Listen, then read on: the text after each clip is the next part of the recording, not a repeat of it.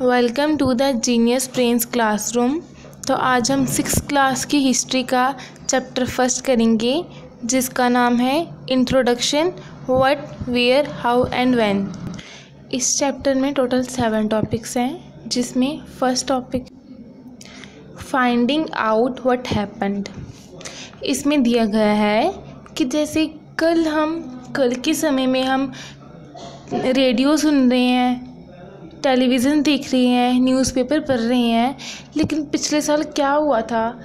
चलो पूछते हैं, किसको पता है? और कई सालों पहले, हज़ारों करोड़ों सालों पहले इस धरती पे क्या हुआ था? चलो देखते हैं।